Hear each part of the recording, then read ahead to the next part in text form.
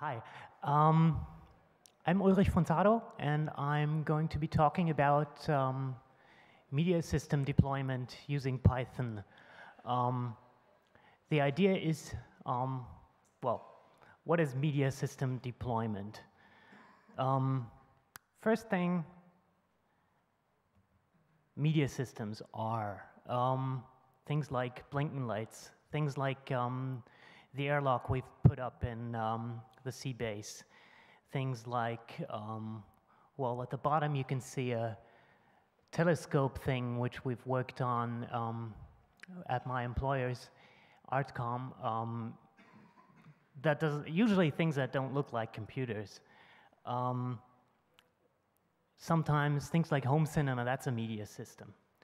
Um, now the problem with this is um, they are very, very diverse. Um, I've tried to characterize them. You've usually got a lot of strange input and output devices. Um, from uh, remote controls to push buttons that are not normal keyboards to uh, Bluetooth cell phones and things like that. Um, in most cases, you won't have um, a keyboard and um, in most cases you will have a screen. Okay, um, then, so what is, what is deployment? Deployment means um, I'll be talking about all the phases of uh, what it means to actually make a media system. Um, it starts, well, it looks, it's actually a, an adaptation of the standard um, IT uh, deployment technique. So you start out by building yourself a concept. Um, usually that's that the difference between those two is um, that you're going to be working with very different people. You're going to be working with uh, artistic people, meaning, um, yeah, people who usually don't use computers all that much and have a very different view of uh, the world than a usual IT person. Um, those people are usually going to be very active during the concept phase. Um, they will be talking to, if there's a client, they will be talking to the client, find out what the client wants, and uh, figure out how things would look best, best would act best. Um, next phase, design phase. That's a bit different than the usual software design phase um, because you will have a lot of interface design, what buttons do we put where, um, things like that. You will have graphics design, screen layout stuff, um, things like um, making small movies that are put into the presentation, things like that. Um, sound design, um, actual recording of sound, maybe hiring an orchestra if you get to that. Um, industrial design, meaning what stuff do you put into, uh, what's, what's the setting that the whole thing is going to be in. It usually doesn't look like a computer at the end. Um, and you've got the usual technological software design stuff. Um, you've got an implementation phase. That's not much different from the rest of software. And you've got a rollout phase where the computer actually gets put into the place where it's supposed to be. Um, well, this thing sort of says do every step, one step after the other. Um, the alternative is uh, doing everything at once. that usually um, is a lot more fun um, because it gives you more freedom because when you if you're the implementer of something, the concept is done, the, um, somebody's done the, all of the optical design, um, there's no ideas you can put into it anymore. Um, also, the designer isn't as flexible because you won't know enough to really tell them what you can do at that point. Um, there's cons. Um, you need to speak the same language as the people you're working with. So if you're the implementer and you're talking to an artist who's doing the concept, um, usually that, that, that doesn't work out. you don't talk the same language.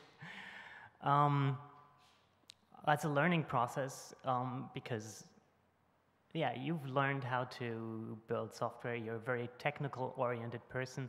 And the artist is somebody who's got lots of ideas and may not now know how easy it is to implement them or how hard. Doing everything at once is also hard to plan, which means if you have a fixed date when you want to be finished or a uh, fixed budget, that leads to problems. Okay, um, I'm going to go to an example of a concept we did that's a, um, well, basically a body and hand scanner we put up at the, um, at the c-base. Um, I hope I have it here. Yes, I do. Er, how do I get this smaller? Okay, this is the concept we came up with. This was a lot of talks. It was mostly a, uh, well, it started out as a phase thing. We started out with a concept, we did some design, I implemented some stuff, and then things went wild, and we changed concepts and uh, implemented some more, and uh, didn't keep to the phases anymore. It worked out pretty well, I think. Um, this is basically the, the concept document we came up with. Um, so you have at the beginning, you have this scanner that's telling you to uh, put your hand on it, and then there's a scan that happens, and if you remove your hand, of course, it tells you something, and it gives an alarm maybe. If it recognizes you after the hand scan, it might just immediately, things like that. It, will it'll do a body scan if it doesn't immediately recognize you, things like that. Um, there's, you can see the, um, I'll have to get this a bit bigger. You can see how far um, this goes. There's no actual media here. Um, there's terms about the lighting. Sorry, it's in German for those who, who only speak English, but I assume that's a minority. Um, there's there's going to be um, talk about what media to use, but the actual media aren't done yet. So ambient audio, there's lighting at the floor, there's an animation um, on the top screen, things like that. Okay, and it goes on and on and on and on, and it has some transitions and some movies and whatever. And um, when we get to the technology part, I'll show you what it, we came up with at the end.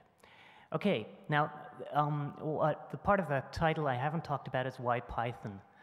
Um, to implement the media systems, I did. Um, I decided to use Python because, well, okay, uh, A, it's a scripting language, meaning um, you don't have any compile times to waste. Um, it has a very, very clear syntax, meaning it's, a, it's a lot easier to read than a lot of other languages. Um, there's a very, um, I think there's a statistic that there's, um, a code is usually read 10 times more often than it's written, um, which sort of says you, you don't want a lot of ways to express yourself. You want to have one uh, way to write code, and it's got to be easily readable. Um, Another reason for Python was that there's lots of libraries you could use. Um, I'll be going through a lot of libraries um, in the rest of the talk, so that's, uh, I'll be coming to that. And it's easy to write your own libraries. I'll also be talking about how to do that. Um, it's a very structured language, object-oriented stuff, you can do some functional stuff, and it's um, fast enough for most of um, what you want to do in media systems. Okay. Um, there's, um, I've found two very good uh, ways to learn Python online uh, books or tutorials. One is the official tutorial uh, written by the guy who also is like the, the father of Python.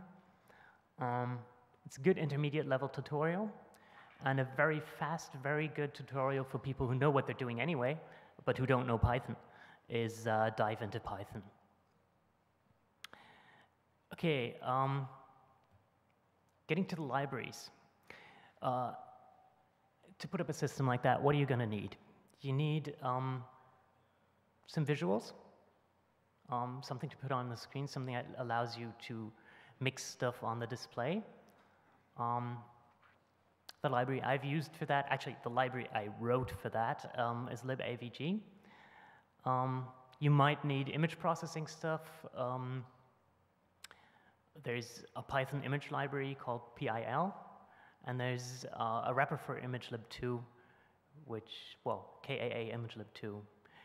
Um, if you need sound, um, there's two wrappers for um, a 3D audio library. The audio library is OpenAL. The wrappers are uh, ALPy and PyOpenAL. Um, for videos, there's um, wrappers for the Xine library um, available, um, and you can use those. I won't be talking about all of those libraries. I'll be talking those, about those that I know well. okay. Um, for those of you who read the uh, the introduction to the talk, and also maybe for those who were there last year, um, you will have heard of libavg, and you might have sort of, yeah, you might have gotten the impression I'm doing this talk because um, I want to promote libavg because I think it's a cool library, and I do think it's a cool library, and I do want to promote it. So you're right. Um, it's a framework for media presentations, for media uh, systems, um, meaning you have a, uh, um, a, very clear wrapper around what you um, can do. It uh, allows you um, output of videos, of text, formatted text, meaning um, all sorts of uh, fonts, boldface stuff, um, UTF-8 support, uh, which is um, support for right-to-left languages, support for Chinese, Japanese, whatever. Um, images, obviously. Um, there's support for FireWire cameras if you need that. Um, there's a pretty cool layout model, which means um, your um, this the uh, the way you put things on screen is uh, a box model. You uh, have relative coordinate systems in which to put stuff. Um, the stuff gets put on layers. You have opacity support. You have uh, alpha blending support. And all of that is totally integrated, meaning you, if you want videos, um, behind other things, uh, videos with alpha, things like that, everything works. Um, the presentations and the, uh, the systems can react to mouse, keyboard, um, stuff like that. And obviously you have, the, you have the whole Python language available to you as scripting. Um, timeouts, uh, you have some support for generic animations and I'll go to some examples. First thing is uh, what you just saw the concept of. Whoops, where is it? Which is the uh, scanner that is at the c-base. This is, uh, usually it's on two screens. Um, in this case, I don't have two screens. so I have to make do with what's here. Um, this bottom part here is the bottom screen where you can put your hand. The top screen is a, uh, well, just a screen that displays whatever happens. Um, and if you put your hand here, because the top screen, the bottom screen is a uh, touch screen, you have this happen. And obviously you won't be hearing anything here, but this thing is making noise. Um, scanning your hand, scanning your body, figuring out who you are, and finally allowing you to enter the place. Um, and if you don't remove your hand, it'll tell you to go on. Okay. Um, second thing, oops, where is it? Is uh, just a monitor that displays some stuff also at the c-base. It'll take a while to load. It, uh, it's just there to uh, display current events and uh, show some advertisements, some rather unreal advertisements. Bad network connection, I think, I hope. Otherwise, we'd have this sooner. Or I don't have a network connection at all at the moment, which is entirely possible. Ah, nope, there's a network connection. No, there wasn't a network connection because it's timed out. Otherwise, at the top region, we'd be seeing some of the current events. Okay. Um, one of the interesting things, technologically wise, um, is that there's a video here that's being shown, and it's behind everything else which is um, something that um, you won't be getting in a lot of um, places. That's usually doesn't work. Usually people don't get this to work. Okay. And this is just a technology demonstration I did. Um, which is, I called it Video Chooser because what it basically does is allows you to choose amongst lots of videos in one um, in one directory. And the wild thing is that you can basically choose by moving your mouse. These are um, the entire uh, first episode of Enterprise we're showing at once. And if you want to see more at once, you can do it this way. Um, okay, so what does this look like?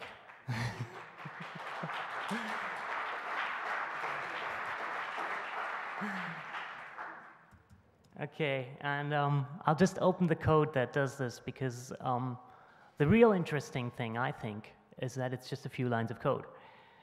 Um,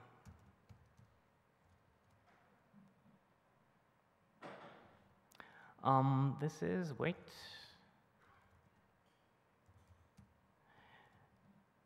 what a libavg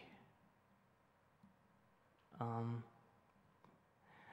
uh, system is made of is basically um, a Python script, which is here, and um, an AVG file, which is a glorified XML file that says the, that has the screen out layout in it.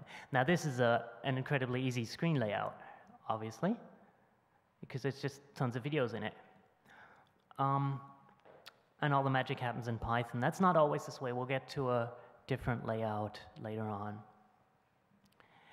Um, so what does this thing do? It, well, now we'll start at the very beginning. Import AVG, that's tells it to use the, the library itself. And then the actual code happens here. You, you get yourself a player, you get yourself a logger. That's not, that's the stuff that happens here. Um, tell them what to log. Um, you load the uh, XML file, the AVG file. Um, this is where some magic happens. And then you can start to um, basically change the XML nodes here, give them positions, give them um, opacities, uh, tell them where to find the they'll be referencing. In this case, um, it just sets the opacity. No, nothing ha magic happens here. Sorry. Um, it just sets the opacity to zero, so everything disappears at the beginning. And then, yeah, position video videos is where the magic happens, I think. Um, gets all the videos. Um, gives them an X position, gives them a Y position, a width and a height. And uh, yeah, the offset gets put in. At the beginning, it's zero, and later on, it's going to be the mouse position. So at the beginning, this is just going to be um, setting X and Y positions width, height for all the videos, um, and starting those that are visible. And then you start a uh, set interval. That means every frame, in this case, every 10 milliseconds, that's a lot more than every frame. It can only do one frame, uh, mo at most one, uh, one call each frame. So what will it do each frame? Get the mouse position, find out where it's happened, calculate how wide the video is supposed to be and how high the video is supposed to be depending on, uh, on, where, uh, on, on where the mouse is. Um, calculate the uh, X position of the whole of the videos um, depending on the X mouse position. So the higher I move the mouse, the bigger the videos are going to be. And as I move it from right to left, the videos are going to um, move from right to left too. And then we call the position videos thing again, and everything happens. So um, the magic behind that is obviously that there's a library that translate this translates this dot x dot y width height stuff into um, things that happen on the screen. Yeah, well, that's all that happens in this thing. Um, and that's 80 lines of code, and you get this. Okay. Um, I'll have a short walk through to a uh, through a this monitor so you can see the uh, layout stuff. This is a more complicated layout because I'll start it for a second again. You can see that there's um, lots of elements in there. No, it's, no, it takes forever to start. I'm not going to start it again. I can't stop it. Okay. Um, you can see that there's lots of, um, yeah, I stopped it. Um, lots of different uh, screen elements. So there's a video in the background. You can see it here. Um, there's a box making up the top screen, which is again divided into, whoop, where is it? Three lines. And all of these have um, relative coordinate systems, x and y, and a maximum width and height, which are used to uh, crop everything that's in it. Um, and there's a bottom screen, and you'll have all the all the fake ads we have here um, for Star Soda, and there's a few that aren't shown, and for the Sea Wars trailer we had later on, um, earlier on. Um, now, if I start moving things around, things are going to move around. Um, no, I won't do that now. Um, okay, we'll go back to the rest of the presentation. Do I have it? Yeah, okay. Um, things that can be used to uh, work together with this um, are there's a Python imaging library that can be used to uh, do lots of image processing stuff. Um, very well documented, very full featured, lots of stuff you can do with that. It's mostly used, I think, at the moment to do web applications. So uh, people who just want to blend some images for a web page, uh, things like that are using it. But um, it should be very, very easy to uh, integrate that into um, media systems. Um, there's an open source version and a commercial version. The uh, open source version has a license that's very short and looks very okay to me, um, but um, yeah, I'm not a lawyer, and uh, if there's any question about usage, uh, it's not a not LGPL, it's not GPL, it's not BSD, it's something strange. Okay, what does this thing do? You can load images, you can save images, you can crop, scale, rotate, blend, whatever. Um, you can apply filters to images, um, things that you couldn't do with libavg by themselves, like uh, add sharpness, um, change the contrast, do blurs, sharpen, um, everything like that. Uh, you can draw on images, um, everything that's supposed to be drawn on images, lines, arcs, ellipses, polygons, um, just the general basic image processing stuff that people will use. Um, commercial version supposedly has some, uh, let's say, image processing in the realm of image recognition and stuff like that, um, as far as I've seen it. Um, but that, okay, if you need that, you got to pay. Um, the problem with it is um, that I haven't done it yet. I haven't really gotten the uh, images from PIL to libavg. I was going to do it, and I was actually going to do it yesterday, but it didn't happen. Um, it should be, in theory, like every programmer says, it should be a few hours of work, and um, I hope it is. Um, the idea is to take images, uh, change them, blend them, draw on them, whatever, and use them as integral part of media systems again, of the libavg presentations. Okay, moving on further. What options do we have for sound? Um, this is probably the most stupid option.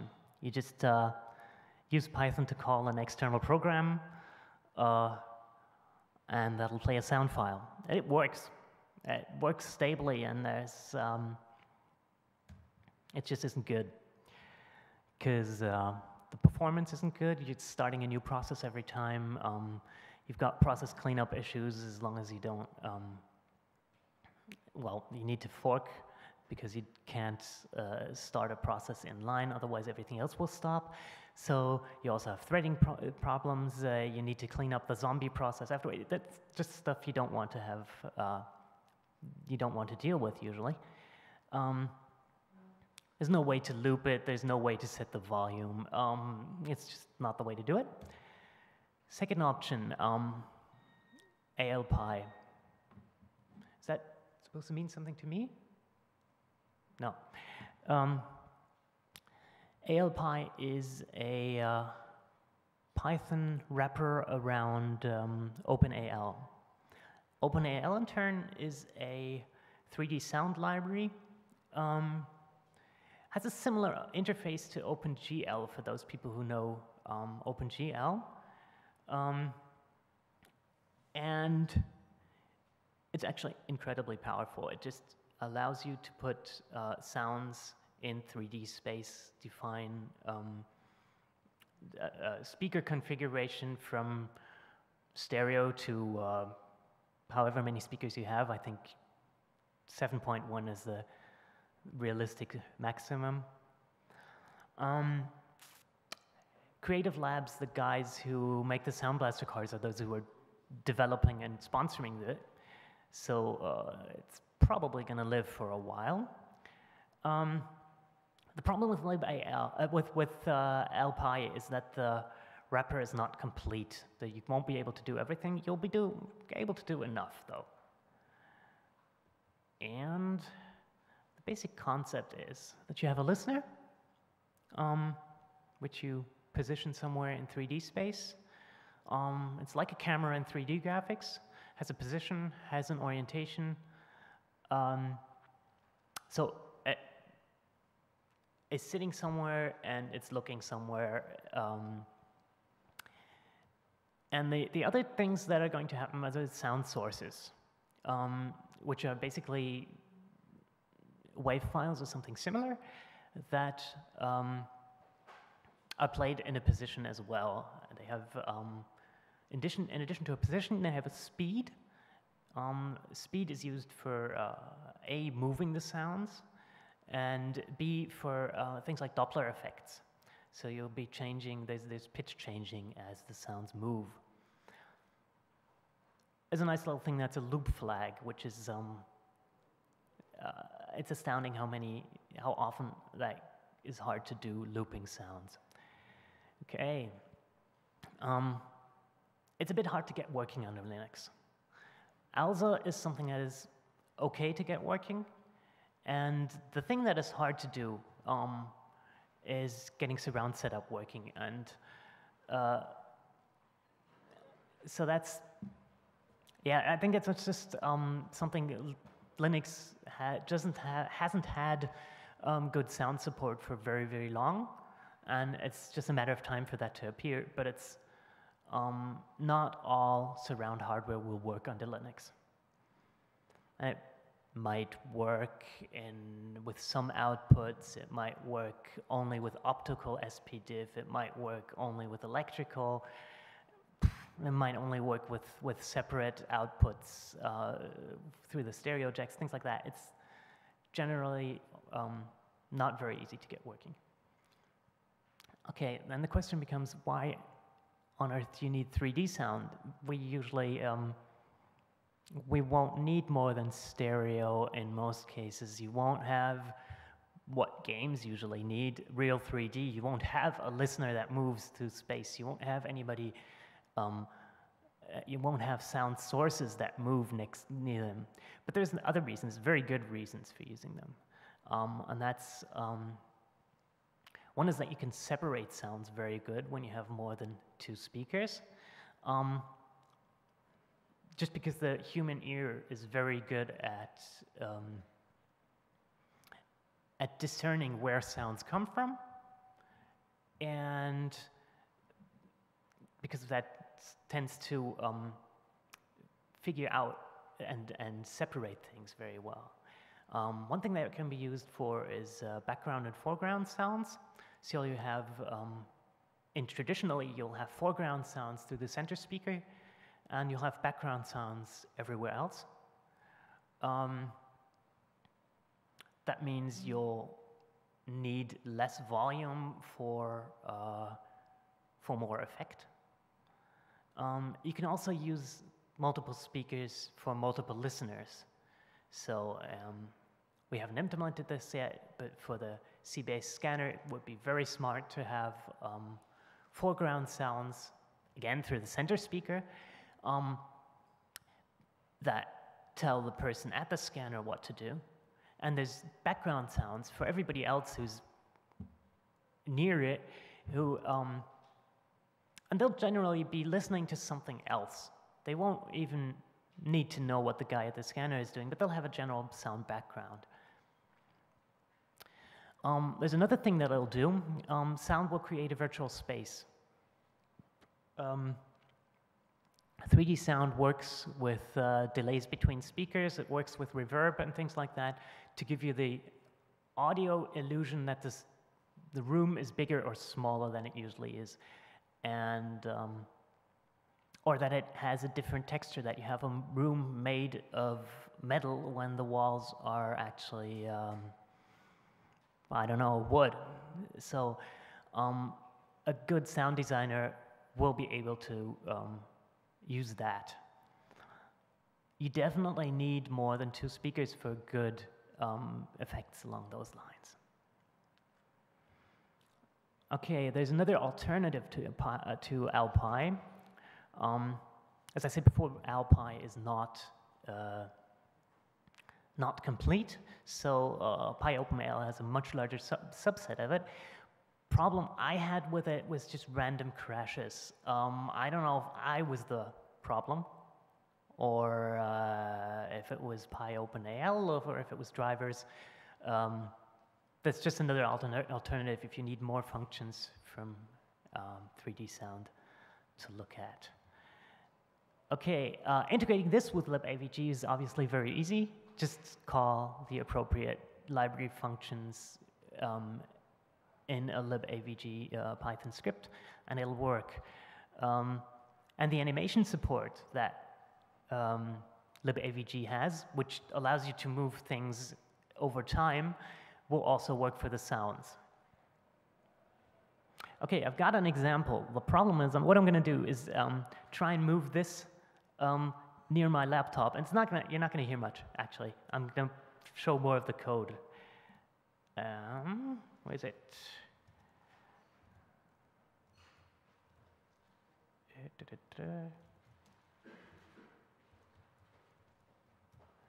Okay. Okay, ja, das kriege ich jetzt nicht schnell, äh, schnell genug. Zum, kriege ich auch nicht schnell genug zum Laufen. Also das, ob das der Output, den Output gibt und so weiter. Okay. I'm going to try this. I don't know. It doesn't make much difference, actually. Uh, I can hear it. Nobody else can. Up. It is.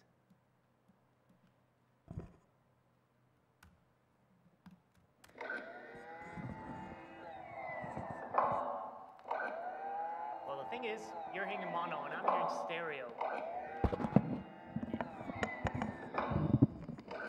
Okay, the problem with this thing is that you're going to be hearing mono and I'm going to be hearing stereo, meaning I can hear it move and you can't. Uh, so I'll have to show you the code to make you believe it. okay. Um, there's a sound engine. There's a listener. Uh, is, whoa, shit. Yeah. Um, okay. There's a listener that gets. Um, this is looks very, uh, very much like a camera in uh, OpenGL. You have a forward vector and an up vector, which means this is forward. Um, sorry, this is forward and this is up. Um, that's a, it's just going to be 3D coordinates, and it starts a sound source. And then every two seconds it moves its position. And it really is that easy. Um, once you've got surround sound set up, it really does work in moving sounds. Okay, back to the rest of it. Right here? Yeah, okay. Um, so, what if you need something else? Um, it's actually very easy to wrap other C or C++ libraries um, for use with Python. Um, there's two reasons for that. One is you've got code that's already there and that hasn't been wrapped for Python yet. And the second reason is um, you need something that has to be done in C or C++ because Python isn't fast enough. Um, for instance, I don't know, complex image processing, things like that. Um, there's a very, very nice uh, library for generating wrappers. It's called Boost Python. Um, basically, for every function you want to wrap, um, you have one line of code. And um, it does some incredible C++ template magic, which um, very few people understand. I, and I, th I think um, the person who wrote it himself said something like, I've got to rewrite it so I understand it. But um, it works, and it works incredibly well. It does wraps every object-oriented thing I wanted to wrap, uh, and that was a lot, um, in an appropriate Python um, wrapper. So that is the, the, the um, interface I would use. I tried um, Swig, which is another wrapper generator. Um, it has the one, uh, yeah, it has one thing that makes it better, which is uh, you can generate wrappers for lots of script languages, but it's a lot slower. The wrappers themselves are slower. We've we tested the speed, and it's um, somewhere between three and ten times slower for a function call. And um, there's features missing. Um, things like uh, okay, uh, return types of functions that should be giving you a derived class object, giving you a base class object, uh, whatever. Things that um, sound complicated and but are really necessary. Um, okay, but writing wrappers in Boost Python um, was really, it was a no-brainer. I just uh, wrote the lines I thought I would have to write, and it basically worked. Okay. Um, a few other things that you can do um, to, for your other libraries that you can use when there's media systems to be done. Um, serial port support, that's um, a library called PySerial that, well, every device you want to put on a serial port can be done by that. libavg itself has support for uh, sending individual parallel port pins. So if you have uh, real crude, simple electronics that you just want TTL level um, signals to be put on, um, that'll do it. Um, there's a Bluetooth library. Um, there's lots of networking functions in the built-in Python library. Um, there's database interface libraries, in, uh, just, well, Python, it's, there's, there's a lot of uh, stuff available for it. Um, I'll go to the next point, which is how do you actually, um, when you're up to the point where you want to um, put it on a system that gets um, placed somewhere and will probably not move for the next few years and should also remain um, functioning. First of all, setting it up. Um, and I think that's really by far the messiest part of everything because Linux is not at the point where it's easy to set media systems up. There's two problem drivers and that are just basically the, the main drivers that are going to be necessary. One is video. You really need good OpenGL support. Um, usually that's not an incredible problem, but it can be um, hard to set up.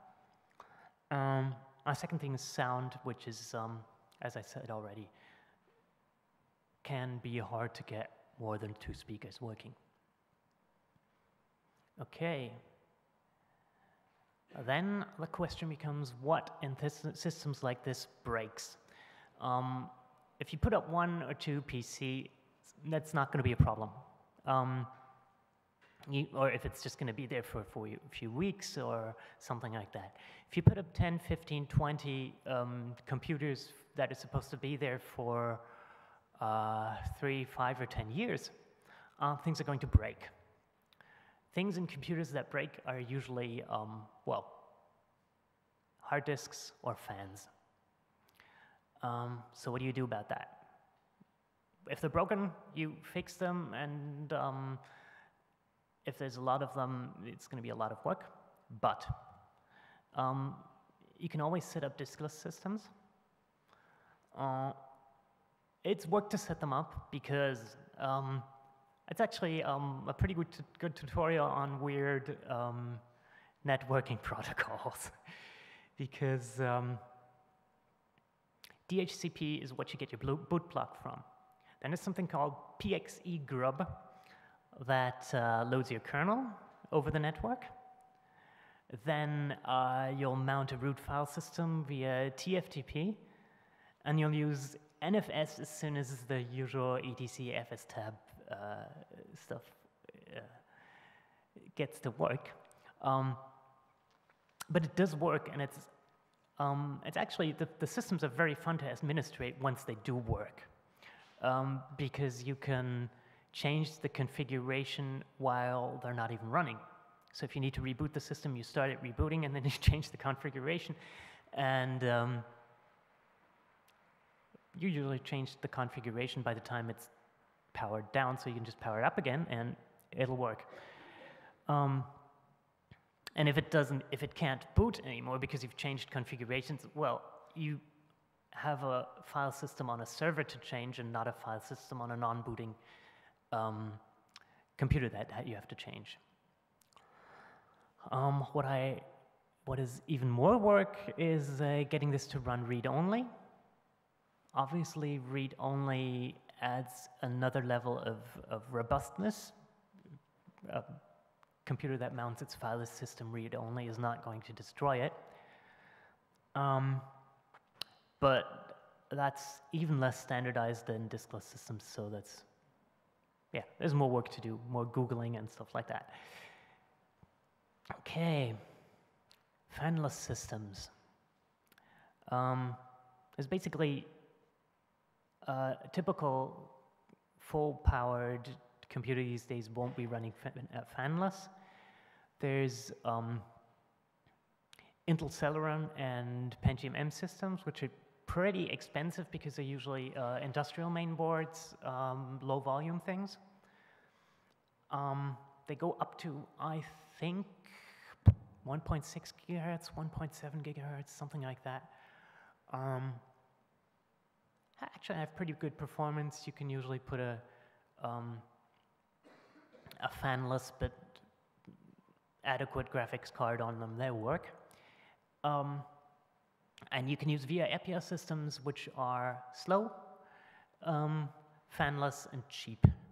Um, but incredible if they're um, if that's enough. They have nominal speeds of up to 800 megahertz without a fan at the moment. Uh, but you'll have a speed of about 400, 500 megahertz to your disposal if you compare it to a, a Pentium of that class. But on the other hand, these things cost, um, I think, 150 euros for the motherboard, including processor, and that's just um, absolutely unbeatable. Okay. I'm more or less done. Um, question is, what am I going to do in the future? Um, libavg is not documented enough. There is a website at libavg.de, uh, and there's some reference documentation which is more or less up to date, but there's no tutorial yet. Um, so people who want to use it will have to look through the examples and stuff like that. Mm, I will be doing um, more of that. I am it was just a matter of time. Usually people promise to do documentation and they never do it. Um, I, um, well, I'm, i can just tell you I'm not that person, I think. I don't know. Um, so there's a release that has to be done, um, stabilizing the API, things like that. Um, I'd like to do a Macintosh port. I've had it running on the Macintosh already. Um, package management gets incredibly complicated on a Mac. And, um, well, the goal of everything, um, I haven't found an English word for that, and that's uh, eigendynamic. It's uh, what happened to uh, my last open source library where I, that was PaintLib, I wrote, um, I think about a third of the code in total. And if it happens to libavg, that other people start pouring in code. Um, that's the basic midterm goal. If it doesn't happen midterm, at some point libavg is probably going to die, but I'm pretty um, confident that I can make that happen. Okay, there is going to be a workshop on uh, libavg usage and programming this Thursday, day after tomorrow at 12 o'clock. Um, the dates are there. The c-base is really, um, you can see the building the c-base is in, um, in that direction. So it's really three minutes walking distance. Um, costs a few euros because we'll be using um, C-base computers and um, wear and tear and things like that have to be compensated. Um, there's limited space. The room is not huge, so um, I'd ask you to send me an email if you want to come. Yo. Any questions? Yeah. Sure. Okay, there's a microphone coming.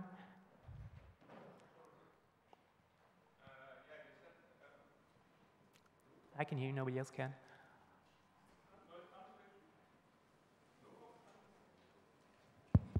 Yeah. Okay. Um, you said uh, with 150 euros, these EPI boards are price uh, uh, price-wise unbeatable. Have you heard about the Linux ports to consumer systems like uh, the GameCube, Xbox, Microsoft Xbox, um, Ah, other, other like these devices, which, in my opinion, might also be quite a good platform for media develop media systems Mm. like you are talking about. okay. Um, yeah, I think that is a good idea. Um, no, I haven't thought about it. Um, Actually, I think um, it, it depends on what you're wanting to do. If you are, if this is a, uh, let's say, if it's an artistic um, thing you're trying to do, if it's not long term, if you're not going for years of stability, um, and if not, a, if it's not a commercial setting, yes, it might be a, a very good project. Might be lots of fun. If it's a commercial setting, um, you're never going to sell it to a customer. Okay. Okay. Okay. Uh, more questions?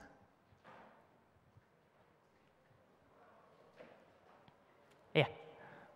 Um, you, you mentioned that it's currently missing documentation. What, but what kind of uh, users are you looking at? The, the programmers or the artistic uh, kind of background people Uh, that, that could uh, be kind of uh, interested in learning Python and uh, use of the library? Um, both. Obviously, this talk was uh, not for the artists.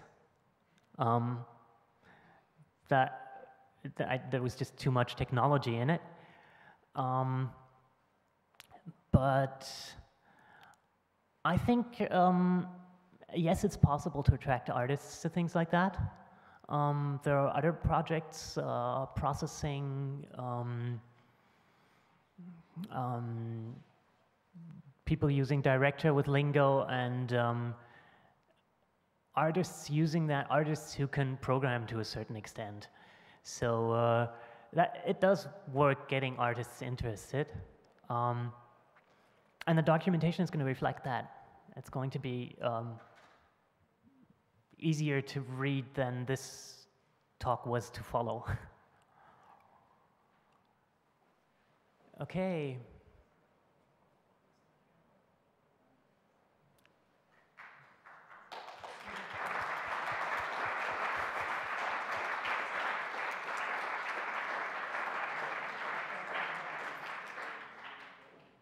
Okay, thanks.